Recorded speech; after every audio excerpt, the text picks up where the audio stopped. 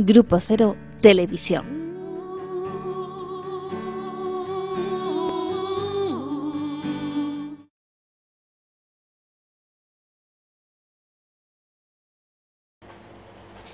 Eh, buenas tardes, buenas tardes. Estamos en el seminario de Sigmund Freud, el seminario de los viernes se llama. Algunos dicen que es el seminario de estudio de Sigmund Freud más largo de la historia. No lo sé, pero eh, nosotros hemos decidido que cada mes vamos a abrir ese seminario para poder acercar y dar clases gratuitas para que cada uno pueda venir y acercarse un poco a la teoría psicoanalítica. Y así nosotros aprovechamos también para hacer un ejercicio, hay que decirlo. Entonces, dentro de nuestro programa, porque seguimos el programa, que es el que podemos ver en la escuela, ¿no? en la página web de la escuela, hoy toca trabajar la neurosis de angustia. Entonces, y es a partir de un texto de 1894 que vamos a trabajarlo. Es decir, que todavía no existe el psicoanálisis.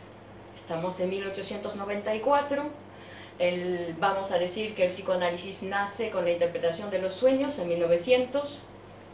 Freud es un neurólogo que investiga la mente humana y que está a punto de descubrir eh, la ciencia psicoanalítica. Es decir, que estamos en la época precientífica. ¿no? pero que vamos a ver que ya en esa época él había descubierto un montón de cosas. Y él, es importante pensar, ver que él está tratando sus pacientes con el método catártico. ¿no? El método catártico tenía una característica, entre otras, es que hipnotizaba a los pacientes para hacerles hablar, para hacerles recordar. Entonces hacía preguntas, porque la idea que tenía en aquel entonces era que si el paciente recordaba una escena eh, traumática, pues después se liberaba y entonces lo podíamos dar por curado. Pero eso no es así. Es decir, que lo que se había descubierto en aquel entonces era que la palabra era el instrumento por el cual podíamos tener acceso al psiquismo humano. También había descubierto ¿no? Es decir, que primero que era el instrumento, la palabra. Y además había mm, descubierto que al lado de esa escena traumática, reprimida, estaba al lado un afecto que se había separado, que vivía por su cuenta, y que ese afecto tenía la posibilidad, o no, no que tenía la posibilidad, sino que es lo que solía hacer, era mm, pegarse a otra representación ya que la representación inicial estaba reprimida, pues el afecto estaba ahí, vagando y se tenía que pegar a otra. Es decir, que esos son los dos elementos que él había descubierto antes de la interpretación de los sueños y que nos va a... y bueno, para situarnos, digamos, ¿no? Que son algunas ideas para poder eh, situarnos. Y que el afecto, entonces, tenía la capacidad de producir transformaciones somáticas y eso también, ¿no? Es decir, que, que, es lo que realmente vamos a ver ahí en el texto, ¿no? Que el afecto, que en este caso aquí va a ser la angustia, va a tener repercusiones en el soma. ¿no? Y entonces, eh, es decir, que lo que había hecho es que desde lo desconocido en aquel entonces, de no saber lo que le pasaba al sujeto, o de hacer lecturas erróneas, digamos que habíamos descubierto eso, que había una escena traumática, que estaba asociada a un afecto y que en el momento de la represión se había separado la escena por un lado y el afecto por el otro. Eso es lo que habíamos visto en los historiales de la histeria, ¿no? Es, ya dice que me repito. No, no, no, lo digo porque ahora lo vamos a tratar con la angustia, o sea, con... Ah, que fue pensado, es decir, que en el programa ya hemos visto, digamos, ¿no? Esa prehistoria, ¿no? Esa pre, ese periodo precientífico, ya hemos trabajado con la histeria. ¿no? Que la, y que ahora vamos a meternos con la neurosis de, angustia, con la angustia. Entonces vamos a trabajar el texto, que es un texto entonces de 1894, que se llama sobre la neurastenia y la neurosis de angustia, sobre la justificación de separar de la neurastenia cierto complejo de síntomas a título de neurosis de angustia. Ese fallido.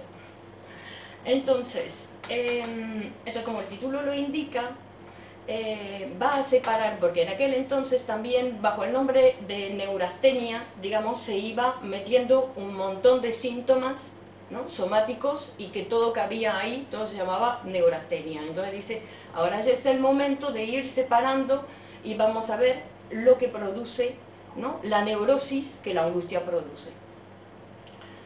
Y eh, entonces después eh, lo que em,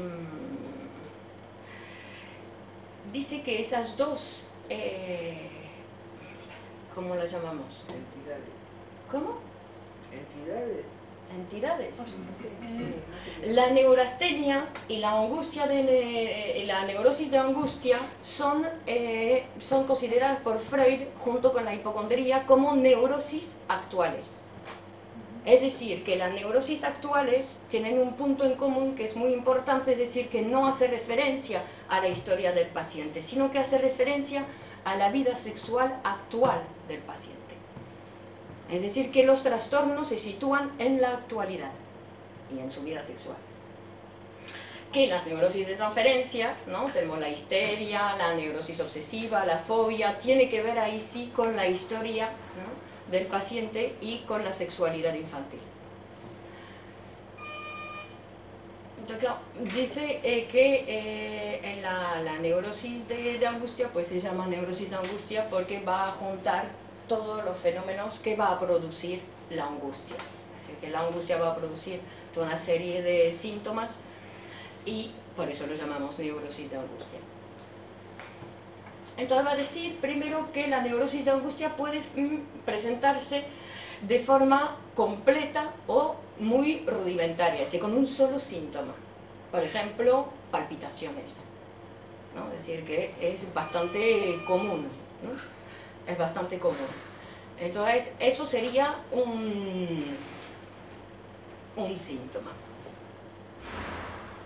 Pero después también hay conjuntos de síntomas, es decir, que también el sujeto tiene la capacidad de juntar varias cosas para producir varios síntomas, todos de angustia y varios síntomas a la vez, ¿no? O en conjunto. Hola. Y que también vamos a ver que la neurosis, eso también lo veremos al final, que la neurosis de angustia puede juntarse con otro, hola, con otro tipo de neurosis, es decir, eh, que eso se llamará ya eh, neurosis mixtas. Entonces, va a empezar explicándonos un poco cuál es el cuadro clínico de eh, la neurosis de angustia. Entonces, el cuadro, lo primero que va a señalar es la excitabilidad general.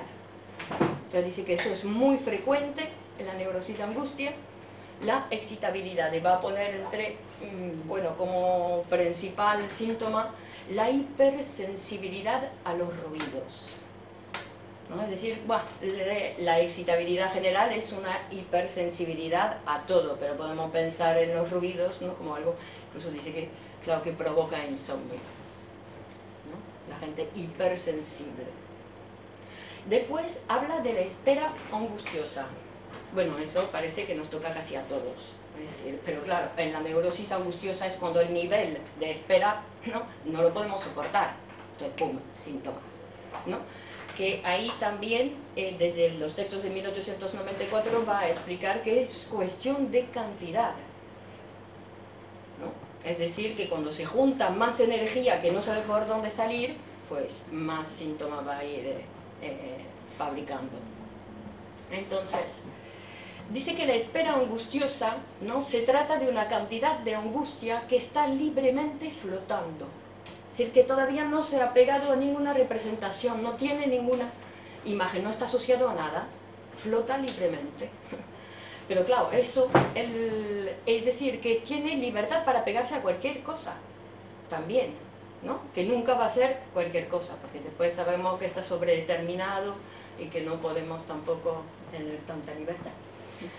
Pero, eh, por ejemplo, él dice, para que podamos em, entender ahí bien lo que es la espera angustiosa, sobre todo dentro de la neurosis, ¿no? Dice, por ejemplo, la mujer ¿no? que vive con su marido, que su marido tiene, es así propenso a los catarros, y entonces cada vez que lo escucha toser, ya se adelanta a los hechos. Lo imagina con una neumonía mortal e incluso va al entierro.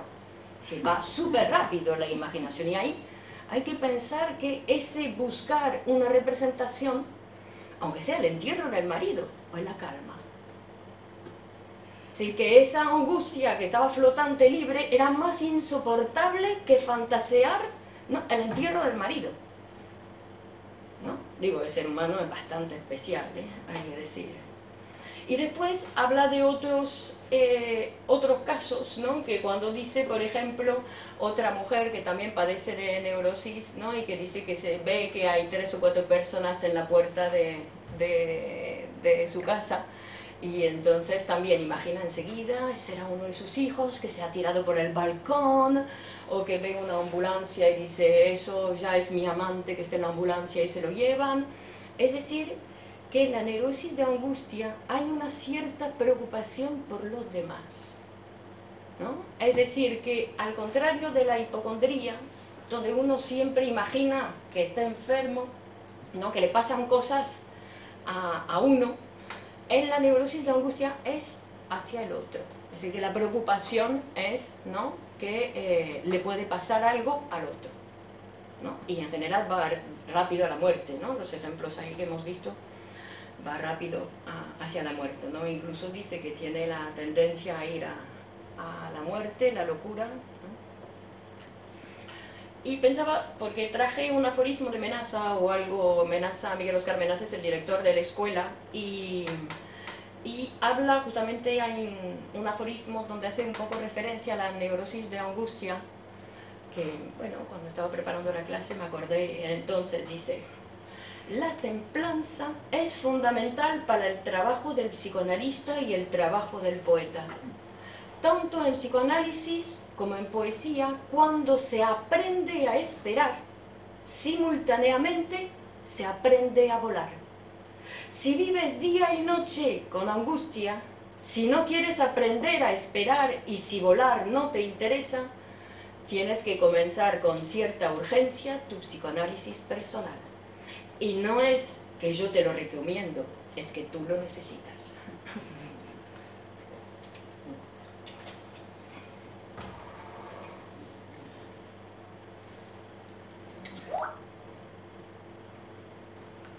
entonces.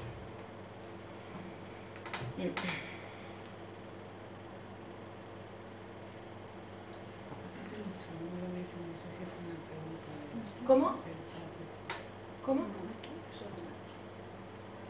No, está bien. Saludos desde México. No, aquí vino una... ¿Alguna pregunta? No, no. Es que esto está encendido. Hasta me voy a cerrar. Acá nos angustiamos un poco. Entonces, por un lado tenemos la neurosis de angustia que decíamos, ¿no? Que el temor, la angustia, es sobre personas ajenas al sujeto, ¿no? Que teme que ocurra algo que ponga en peligro la salud de los demás, ¿no? Y además eh, piensa que está ya aconteciendo, ¿no? Es decir, que uno fantasea que ya está pasando.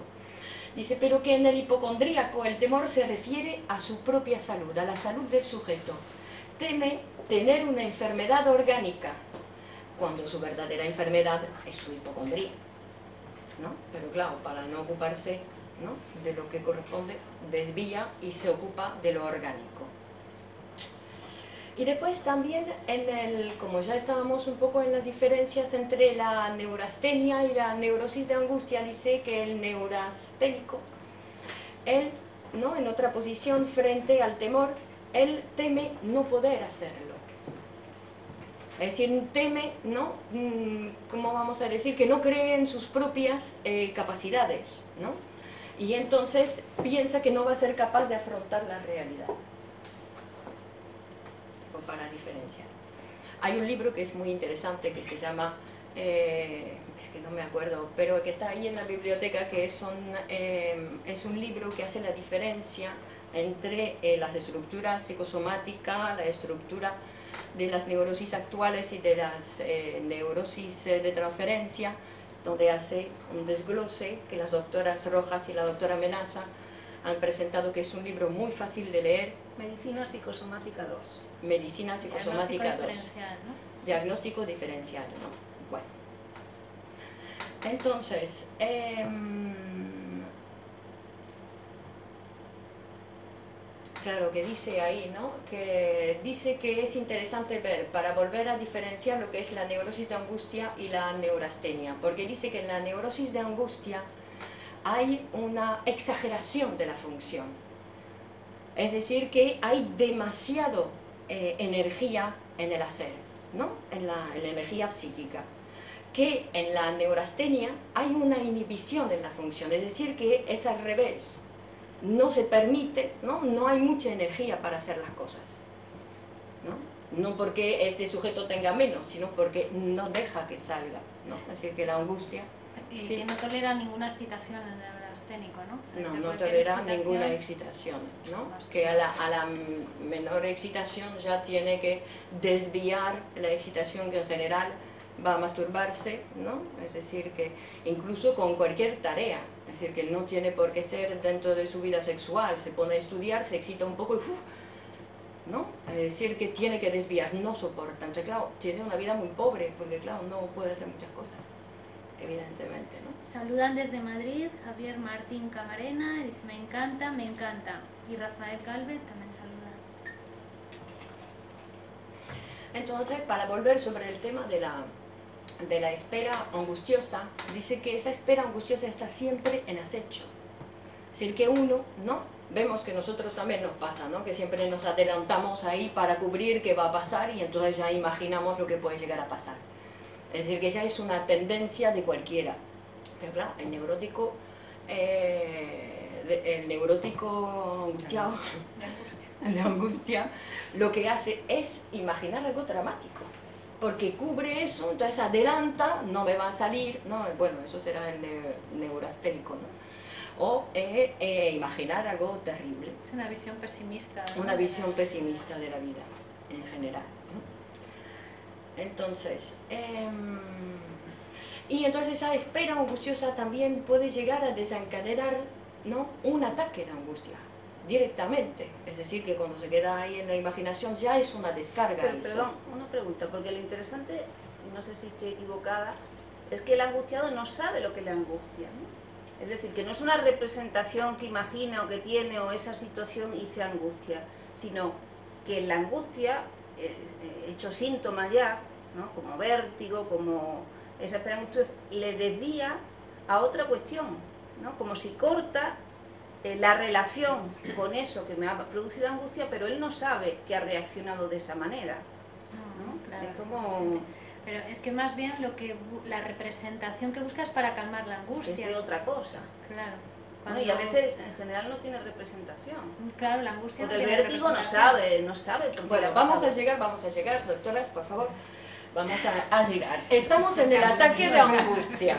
Ya se está hablando del vértigo y todo eso. Todavía no llegado. Que sí, que eso son lecturas que hizo Freud, es decir, que es una interpretación, que el paciente lo que hace es padecer y no se entera de nada, no sabe. Él solamente viene a descubrir, no, he tenido la fantasía, pero no sabe ni siquiera que eso es angustia. Eso porque estudiamos, entonces algo más sabemos, pero él no, incluso cual- cualquier sujeto está ciego ¿no? a lo que le pasa. Entonces, entendí que era por ahí que querías Sí. ir, pero No, de- habías empezado a decir una diferencia entre el neurasténico y el neurótico de angustia. sí. Decías que el neurasténico duda de sí mismo, de su capacidad de llevar Sí. a cabo la tarea. Sí, ¿no? no voy a poder, no voy a ser capaz, ¿no? Es decir, eh, se evalúa por debajo de sus capacidades. Mientras que el neurótico de angustia duda siempre de la realidad exterior. No me va a salir, me van a poner una bomba en la puerta de la... ¿no? De- me van a poner en obras delante de la tienda y va a fracasar el proyecto de la tienda, no sé qué. La duda está siempre en la realidad exterior, que es una diferencia también entre el neurótico de angustia y el neurasténico. Lo que habías empezado a decir, el neurasténico duda de su capacidad, pero no habías terminado. gracias. Entonces, claro, que él lo pone en el exterior, ¿no? Es decir, que ¿no? Que vamos a ver que la clave, ¿qué hago con mi angustia? Porque mi angustia es in- interior, no viene provocada del exterior, es interior. Entonces, cuando la pongo, ¿no? Cuando dudo del exterior, cuando imagino, ya está en el exterior. Entonces ya me puedo defender, es un, es un peligro exterior, ya la he sacado. Además habías dicho, está la espera angustiosa, ¿no? Esa eh, angustia flotante que no tiene representación y que se une a cualquier representación. ¿no? Que sería el ya ¿no? Eh, pensar que se va a morir el marido, que el hijo se ha suicidado, es ya la unión a una representación exterior, porque el sujeto no, ¿no? está que no sabe lo que le pasa, no tiene ninguna idea asociada a esa cuestión física que le pasa. ¿no? Por eso que vamos a decir que eso es una solución para él. Claro, no, desde la medicina se piensa un poco al revés, ¿no? Cuando llega el paciente y te dice, estoy angustiada porque he pensado que mi marido se va a morir, ¿no? Ajá, Pero no es verdad, la angustia estaba antes de la representación, ¿no? claro. Porque estaba angustiada es que imagina la realidad muy negativa para ella, ¿no? O el, el peor desenlace, siempre. Todas estas diferencias parecen muy teóricas, pero hacen mucho luego a la escucha del psicoanalista y también a la escucha, digo, que cuando, escu- cuando escuchamos cualquier persona que está angustiada nos damos cuenta enseguida, ¿no? En cuanto la escuchamos hablar, con estos datos que nos estás dando. Hola, hay un, un comentario de CTAPIAJOH que dice, gracias, estoy en Chile, fabuloso el sistema. Muy bien, Chile, Perú, Cuba, muy México. bien. Viva América. Entonces, em, estábamos en el ataque de angustia. ¿se acuerdan? Entonces el ataque de angustia puede ser, dice, ¿no? que solamente sea la sensación de angustia. Que con la sensación, ¿no? que ya tenemos sin otra representación asociada, pero que es somática. Es decir, que ahí es el cuerpo que va a ir hablando, ¿no? Cuando decimos lo que no dice por la boca, pues ahí el cuerpo, ¿no? Sí que lo va a decir. Entonces, dice que, eh, bueno, en ese texto es muy interesante porque va a ser un desglose de todos los de, todos lo- los padecimientos, digamos, de todo lo que provoca la angustia. Y entonces habla de, él dice, habla de un cortejo sintomático de la angustia. Entonces dice, como habíamos visto, palpitaciones, disnea, parestesias, ¿no? sudores. Entonces dice que eh, afecta principalmente el, el aparato respiratorio y el corazón, el cardíaco. ¿no? Que ahí se mete en esos dos sistemas principalmente, pero no únicamente, porque también ahí estoy leyendo que dice que hay atracones, ¿no? Es decir, que ya lo hemos visto, es decir, que volver a casa y de repente tener la necesidad de comer, comer, comer, comer, como si hubiese algo que tapar, como si hubiese algo que tranquilizar, ¿no? Ataque Como de ataques de bulimia. bulimia, ¿no? Pero eso ya es un equivalente. ¿no? ¿Cómo? Está el ataque de angustia y los equivalentes del ataque de angustia. Que son el ataque de bulimia, por ejemplo, dices. Ok. O el de vértigo, ¿no? También es un equivalente. Eh, Julio Santa Ana dice saludos para la exponente y digo, ¿cuándo la angustia se convierte en una enfermedad? Bueno, ahora, como lo estamos viendo, eso es los padecimientos, porque efectivamente la angustia, que todavía no lo dice Freud en 1894, pero la angustia no es ninguna enfermedad. Es decir, que con la angustia tenemos que vivir, que es constitutiva al aparato. Existe desde el principio. Cuando se constituye el aparato, ¡pum!, aparece la angustia. Entonces después el ser humano tiene que aprender a vivir con la angustia. Pero claro, es un trabajo, hay que aprender. Entonces, vamos a seguir con el, con el texto, pero digamos que no tiene por qué doler la angustia, no tiene por qué producir Que síntomas. sentirse en el cuerpo. ¿no? Pero eso Freud después lo va a decir, ¿no? En otro texto, ¿no? Eh, Y sí. angustia no es igual a neurosis de angustia. No, por supuesto, por supuesto. Claro, eso es lo que pregunté. Y luego dice, saludos para Elena. Y digo, ¿qué diferencia hay entre la ansiedad y las crisis de ansiedad? Las crisis de ansiedad y la ansiedad, pues eh, la neurosis de angustia eh, toca el cuerpo, la ansiedad no hay síntomas, son eh, todos... sí. Porque lo que pasa es que desde la medicina eh, las crisis de ansiedad corresponden con lo que Freud describe como neurosis de angustia. Para la medicina es trastorno de ansiedad generalizada. se llama así, Ajá. LMS, Ah, ¿no? ok, ok, ok, lo que nosotros conocemos como neurosis de angustia. Entonces, las crisis de ansiedad que él dice, me imagino que se refiere a eso, son las crisis de angustia. Es decir, que habría más una descarga psíquica entonces en la ansiedad, cuando la neurosis eh, No, de no, es que angustia. la no. medicina lo llama de otra manera, no lo llama... No, no, pero digo, sí, sí, eso, pero digo, desde el psicoanálisis, ¿no? Porque en el psicoanálisis sí que separamos, de un lado la Ansiedad neurosis de angustia. angustia y por el otro lado la ansiedad, ¿no? Sí, es más psíquica la ansiedad. Ah, es más psíquica, Y la neurosis de angustia tiene síntomas en el cuerpo. sí, somático, ¿no? Entonces, em, pero dice ahí, ¿no? No sé, eh, que dice que el, paciente ni siquiera cuando tiene esos padecimientos, ataques de, de bulimia, no siente angustia, sino que como habíamos visto la padece y entonces solamente dice no me siento bien, tengo palpitaciones, no, no hace referencia, es decir que eso es importante también porque se ve como que es un sistema que utiliza, ¿no? que utiliza el sujeto para cubrir la sensación de angustia que no se trata de poder soportarla, no la soporto, te la cubro, pum, con un síntoma. Y además aparece el miedo a morirse o a volverse loco, ¿no? En el ataque de angustia. Sí, sí, ahí hace, ¿no? Con el vértigo, que son, son realmente, bueno, también va a hablar ahí de la fobia y todo, son síntomas que, in- que incapacitan ahí el vivir.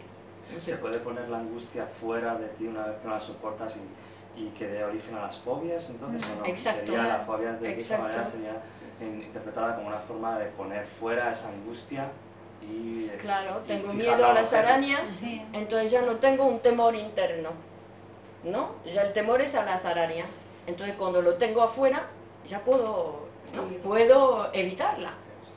Claro, ya no, puedo evitar la araña y ya está, y entonces es bastante más fácil para vivir.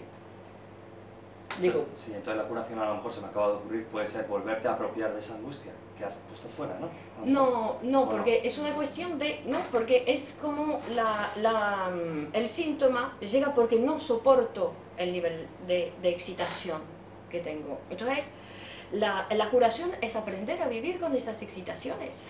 Sí, pero lo que decía Ah, era muy interesante Sí. con respecto a la fobia, porque en la fobia lo que pasa es que el miedo, que es un sentimiento, un afecto normal que nos protege además, nos protege del peligro, está puesto en un lugar donde no corresponde. Entonces es, cambiar el lugar. ¿no? Generalmente en las fobias a, lo que solemos llegar es a la conclusión de que el temor al padre, ¿no? el temor sano al padre, es decir, como en el sentido de que él nos separa un poco de la madre, de esa relación de pegoteamiento que tiene el niño con la madre. Viene el padre y separa un poco, ¿no? Entonces, si yo no temo al padre, temo a todo. Todo, todo, es, ya, todo me produce temor. Entonces, es un poco colocar el miedo en el lugar que corresponde, ¿no? Digo, porque es interesante lo que preguntaba. Que no vamos a eliminar el temor, fuera, ¿qué entonces hago, tú no? dices que el temor, ¿no? Que El claro. miedo es necesario, Mm. Pero es en qué lugar, ¿no? ¿En qué Al comienzo de la clase diferenciabas neurosis actuales y neurosis de transferencia, ¿no? ¿no? ¿Dónde está la fobia? ¿no? Exactamente, que son totalmente diferentes. Que la angustia de la fobia no es la neurosis de angustia, ¿no? Digo, que son cosas Sí. diferentes también. ¿no? La fobia es muy localizada, la angustia solo tengo miedo y además decía la, la, la doctora Menasana, está en relación con el temor, un temor inconsciente que yo desconozco pero que luego en el exterior lo pongo sobre el, el Claro, que sea, desplazo, ¿no? Por eso que también, Pero, pero en las temor al padre, fíjate, ya tiene que ver con la sexualidad infantil. Y decíamos, la neurosis de angustia no está unida a ninguna representación, no tengo ninguna idea unida a esa angustia. Es decir, simplemente tengo sensaciones corporales, no tengo ninguna, porque ese es el problema además que tiene el neurótico de angustia, que no puedo elaborar psíquicamente, no le puedo poner palabras, no puedo poner una frase, no tengo una idea a los estímulos somáticos, los estímulos en el cuerpo, ¿no? que son cosas diferentes. Son ¿no? estructuras. Claro, pero que en la, en la fobia entonces se puede reincorporar, digamos, el temor a un temor eh, primordial, ¿no? Que sería, pero también el temor se puede desplazar.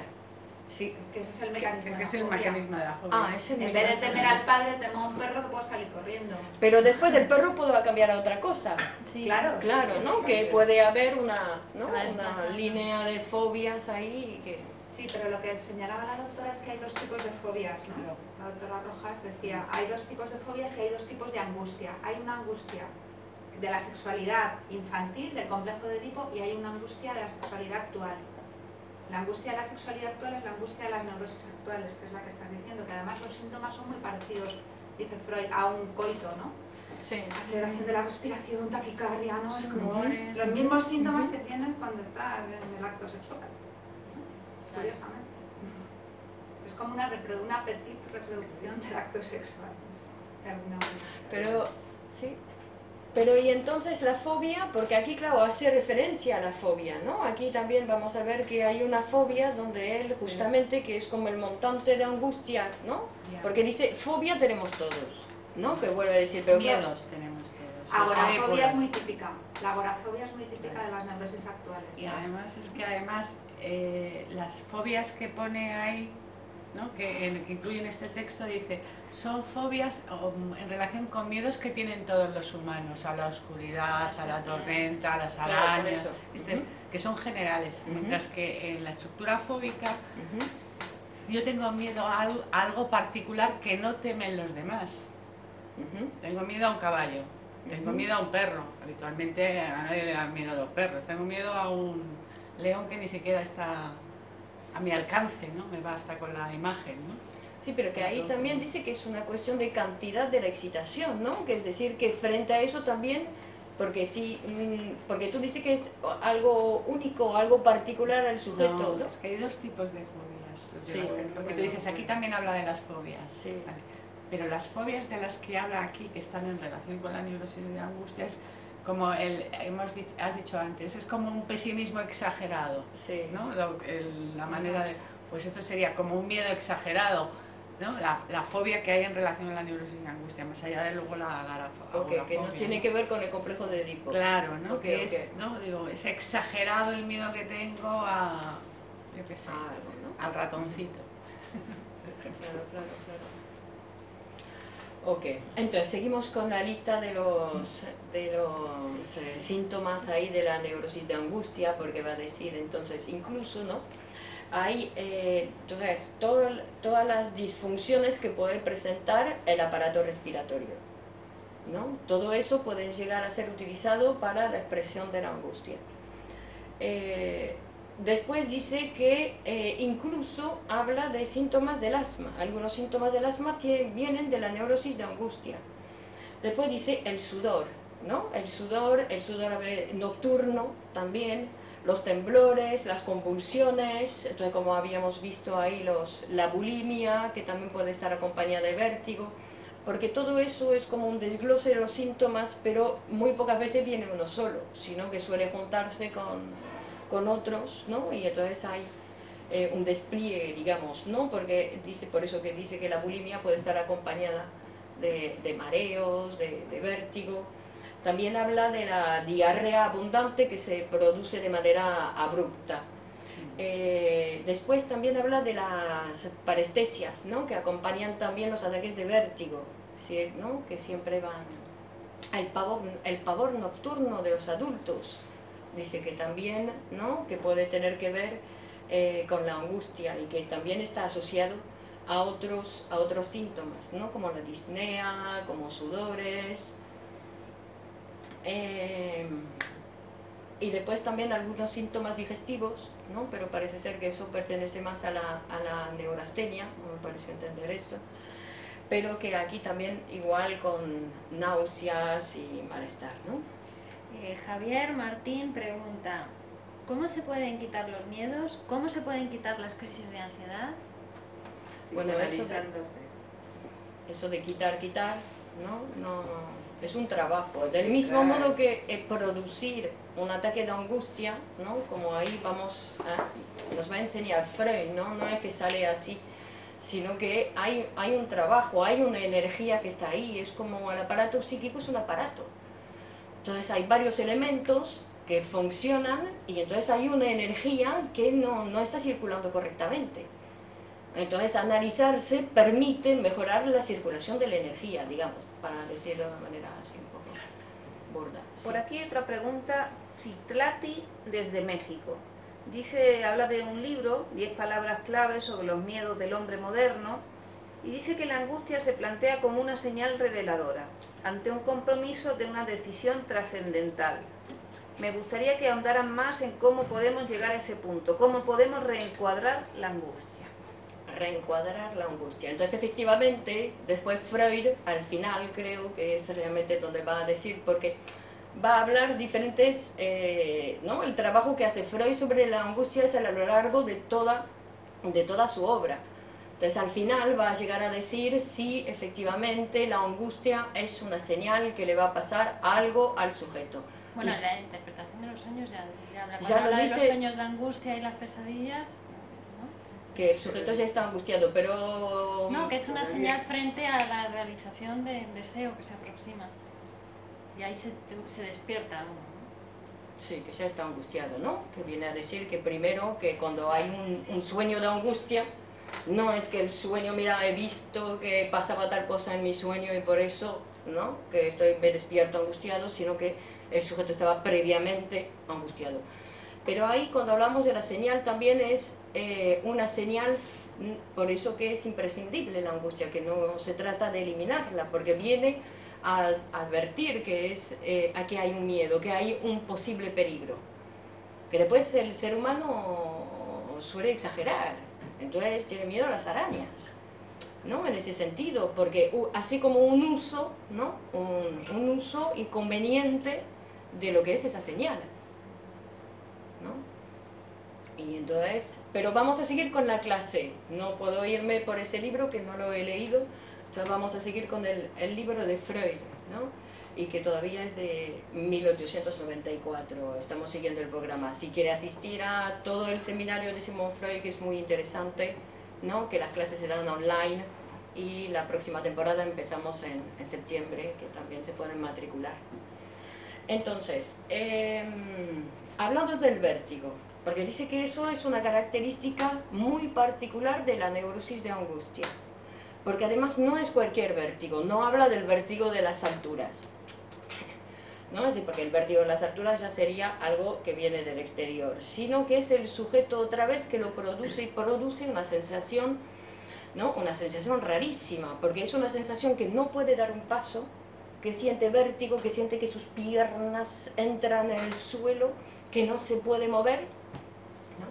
Entonces es como un- unas características eh, particulares, porque claro, imagínate en esa situación.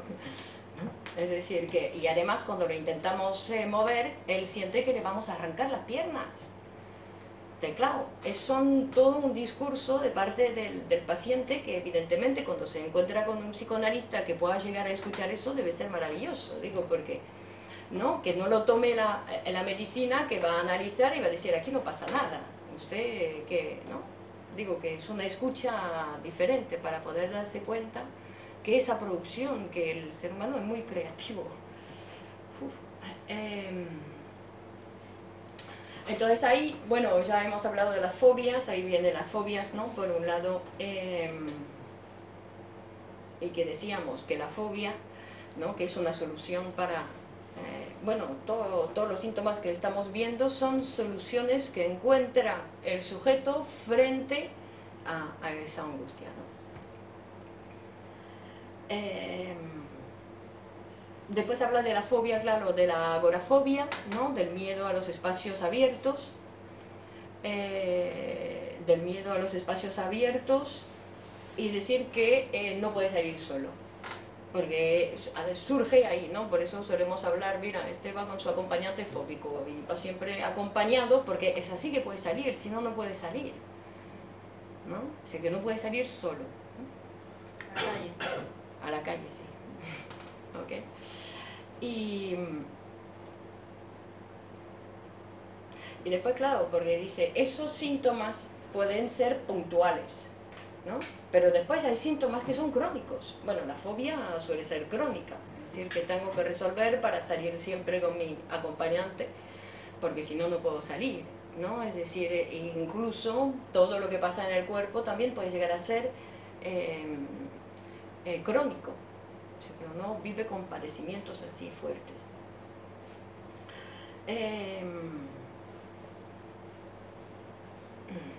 Em, incluso ¿no? habla de una sensación duradera de cansancio, incluso la depresión, ¿no? La, la depresión también puede estar eh, asociada a la, a la angustia. Eh, y después, claro, Freud se va a preguntar, pero ¿y estos síntomas? Claro, hemos desglosado todo lo que la angustia puede provocar ahí, pero ¿de dónde viene?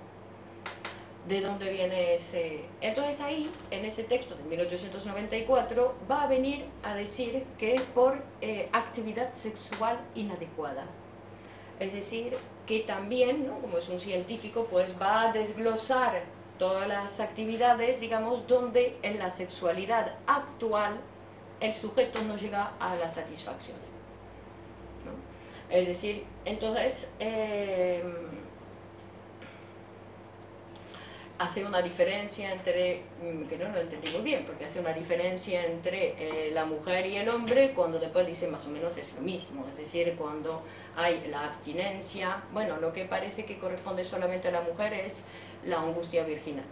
¿no? y de las adolescentes, y las chicas ahí que frente a la posibilidad de eh, tener relaciones sexuales, pues se angustian, ¿no? Eh, no pueden soportar toda esa energía ahí y entonces, pum, ¿no? Pasan y fabrican un, síntoma. Pero si no, en general son, porque dice, por ejemplo, ¿no? dice también de la angustia de las recién casadas, porque dice que la mujer en sus primeras eh, relaciones sexuales pues suele padecer de anestesia y entonces en los primeros tiempos pues, puede padecer de neurosis de angustia, no es obligatorio. Después habla de la angustia en la mujer frente al compañero, ¿no? frente a la eyaculación precoz y también, y eso es como eh, bastante, eh, vamos a decir, como un símbolo, frente al coito interrumpido. Eso es bastante importante, es decir, que frente a la excitación ¿no? se interrumpe no llega. Y no frente a la, a la abstinencia. También en los hombres habla de la abstinencia voluntaria, de, los hombres que sufren de excitación frustrada, también del coito interrumpido, y, eh, y también la abstinencia de masturbación. En fin, como resumen, es cuando hay insatisfacción en la vida sexual. Incluso da ejemplos después en el coito interrumpido, dice si hay uno que se ocupa de la satisfacción ¿no? del, compañero, pues ahí se va, ¿no? se va arreglando. Dice, entonces dice que siempre en la pareja hay uno que queda, parece satisfecho y, y el otro no. Entonces hay uno que está predispuesto a neurosis de angustia. Porque lo que va a venir a decir, porque dice, en el texto dice, ya estoy escuchando que me van a criticar, que van a decir que hay mucho más gente, mucho más personas, mucho más parejas que tienen eh, relaciones sexuales insatisfechas que neurosis de angustia. Entonces dice, claro, no es que una relación sexual ¿no? insatisfecha va a provocar la neurosis de angustia, no es matemático. ¿no? Entonces dice, pero siempre tenemos que ver que la base eh, no, dice que es la neurosis de angustia, que la insatisfacción sexual es una predisposición a la neurosis de angustia. si de ahí se asocia a otro factor, ¡pum!, puede surgir. Entonces va a contar, por ejemplo, un factor eh, específico, ¿no? porque habla de factores específicos que se van a juntar con lo que hay. Es decir, que tiene un paciente Freud, que es su nombre, eh, que se acaba de morir el padre, y entonces se muere el padre, pero el padre era muy viejito ya, que todo el mundo sabía que ya tocaba.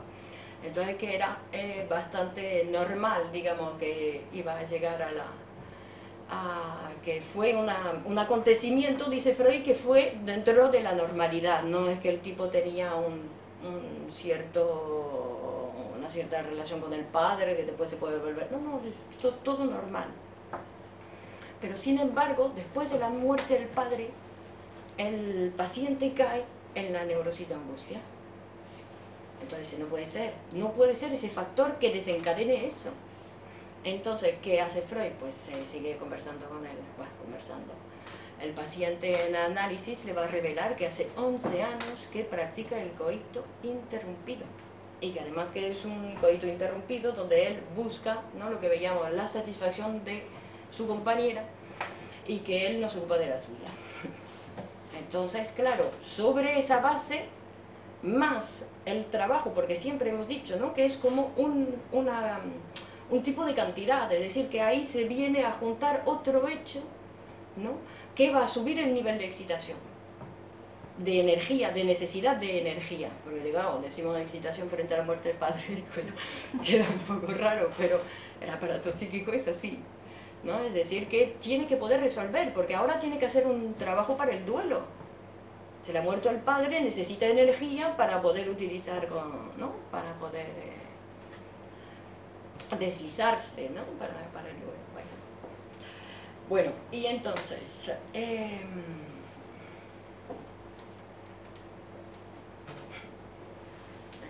A ver, Paqui tiene aquí una pregunta. Dale, Paqui, Oh. dale, dale.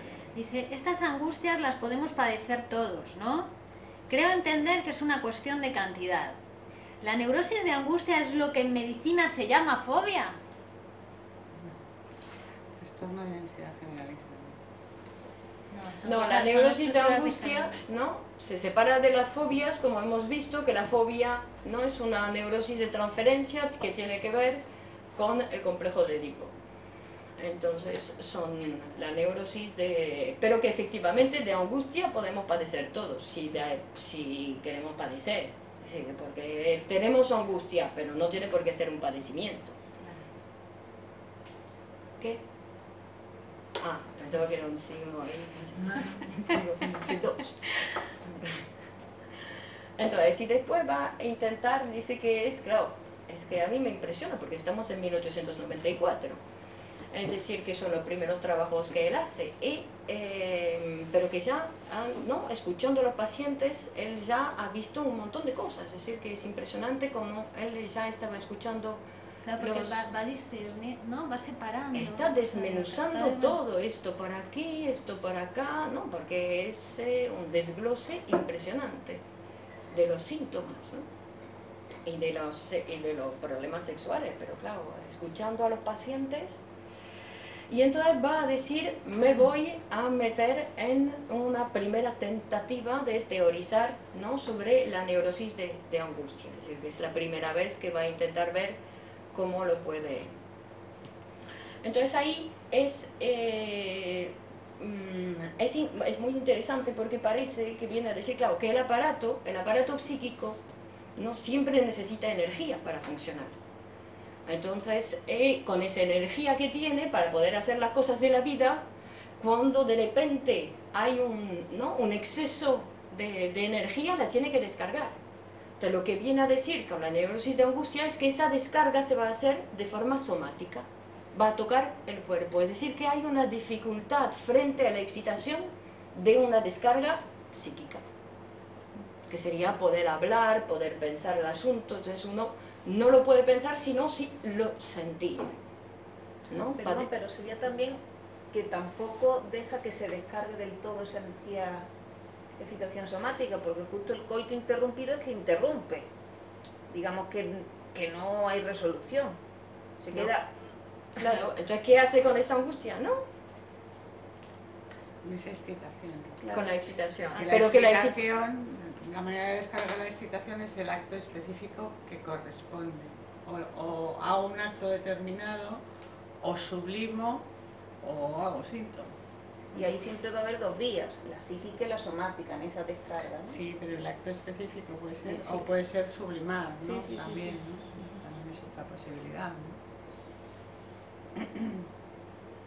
Claro, porque aquí en ese texto no ve, eh, dice que todas las causas no vienen de la insatisfacción sexual, pero eh, que las causas eh, de, la, de la angustia Pero de la, ins- de la insatisfacción sexual porque está en relación con una excitación que no, que no, no es capaz de descargar el sujeto. Claro que no, bueno, pero No no tiene por qué tener, eh, ¿no? Reducirse al, al ámbito genital. Claro, sí, es- Digamos que frente a cualquier elevación ¿no? del nivel de, de angustia que no sabe con que no sabe qué hacer, ¿no? nivel de eh, excitación, ¿no? Vamos a decir. Claro, es que lo pone, pone el ejemplo de, y luego dice, en toda neurosis actual tiene que haber un trastorno de la sexualidad pero es algo que abarca todos los ámbitos del sujeto, también esa cuestión, ¿no? O sea, el, el coitus interruptus, ¿no? Yo decido cuándo esto acaba, Claro. Pero en la vida habitual, en cualquier cosa que acometa, también tiene esa tendencia a controlar, quiere decidir cómo, cuándo y dónde, cuando a lo mejor son procesos que requieren otra cosa diferente, ¿no? Esas cosas son muy controladores, ¿no? En general. Los neuróticos de angustia, dices, ¿no? Muy controladores, claro, porque no soportan la espera, Claro. ¿no? No pueden soportar la espera y después, claro, hacen manejo de esa energía, aquí sí, aquí no, Y cuando tiene lo digo miedo de yo. perder el control de la situación.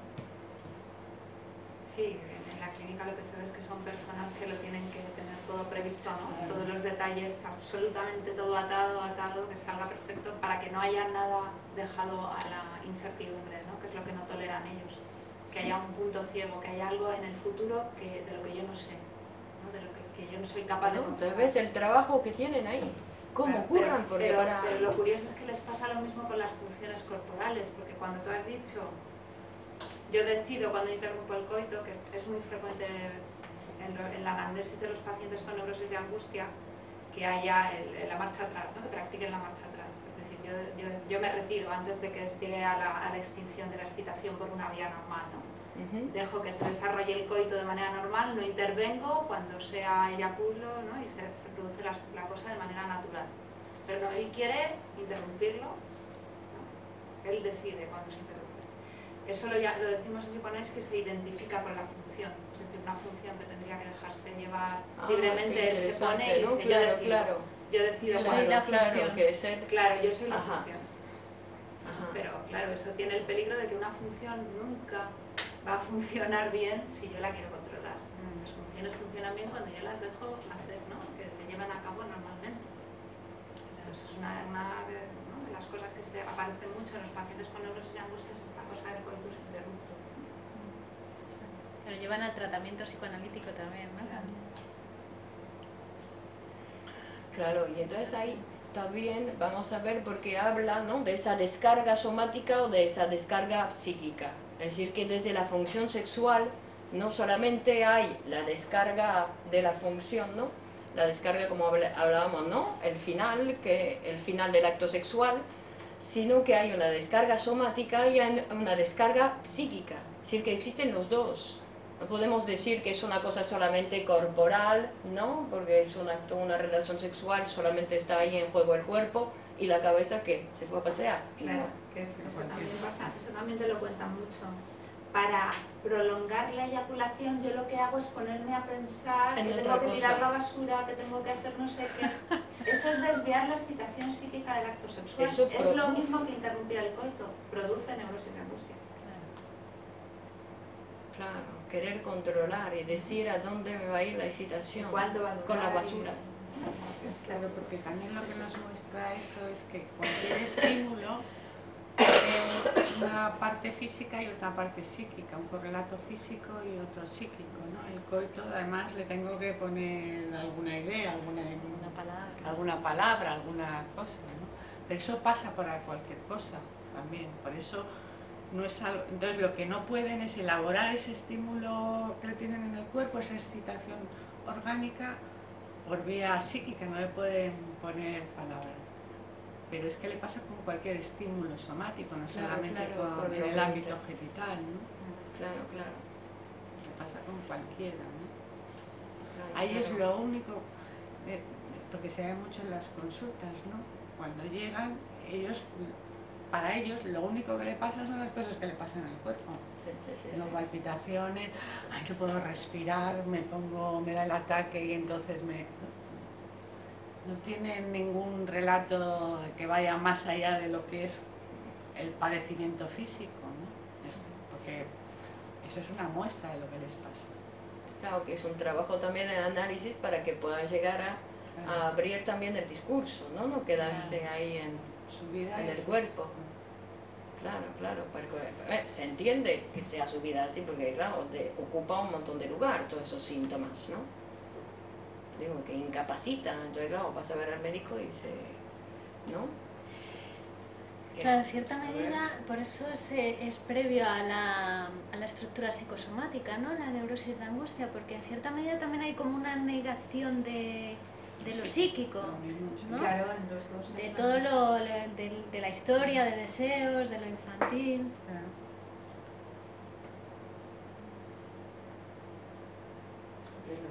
Mendizábal Oscar saludan. Buenas tardes, amigos. Hola, Oscar.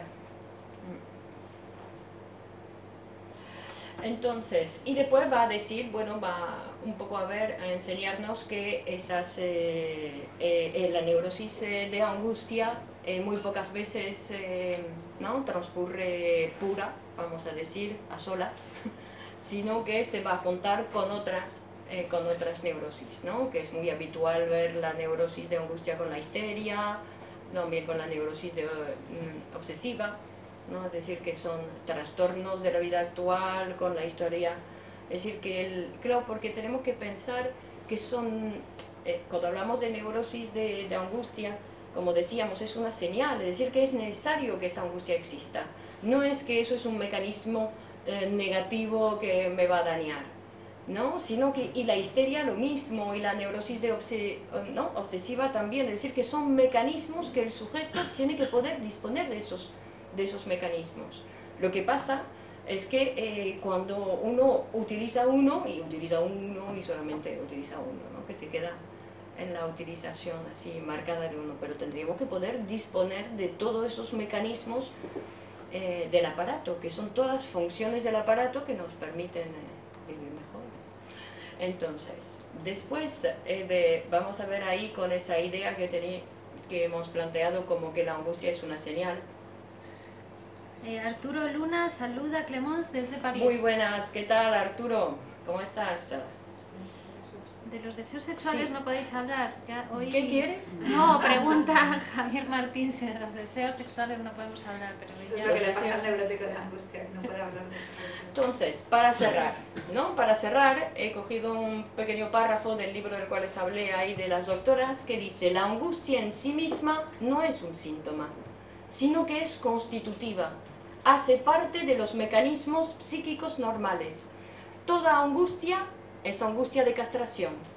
Es frente a la amenaza de castración que acontece la represión primordial. Ahí se produce el inconsciente se divide el sujeto. Es decir, que es frente al deseo incestuoso que se produce la angustia de castración. Un deseo que reprime para dejar paso a un sujeto dividido. Por eso cada vez que se produce angustia, angustia de castración, hay algo que la provoca. Siempre está en juego el deseo. Es una señal de que hay algo que le incumbe al sujeto, un deseo que lo implica pero que no quiere saber nada. La actitud del sujeto con respecto a sus deseos es singular. Los rechaza, los censura y no quiere saber nada de ellos. Eso es lo que produce eh, síntomas. Que no quiero saber nada de algo que me incumbe, del cual tendría que poder hablar, cosa que tendría que poder reconocer, ¿no? Entonces, que la angustia no es algo que podamos eliminar, se trata de aprender a arreglársela con ella. La angustia nos tiene a nosotros, lo que decía la doctora, dejar que la función funcione sin mí.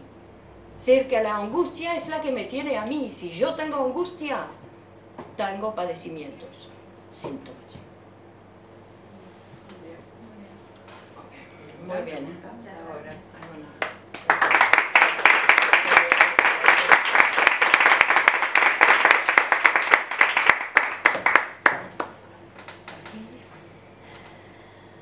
Muchas me gusta desde aquí.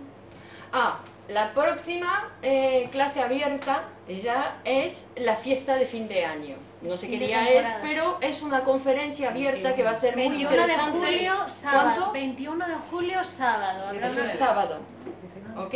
No, 21. 19 es la Con María Cristóbal Ah, a las González, 19 sí, me horas, sí. encantado, Habrá gracias. una conferencia de psicoanálisis que es psicoanálisis y poesía, que es donde tendremos a la presencia del doctor Menasa y le podremos hacer preguntas.